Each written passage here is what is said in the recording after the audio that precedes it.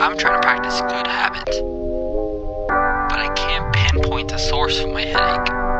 So I'm stuck trying to perform while my brain looks for answers. I'm literally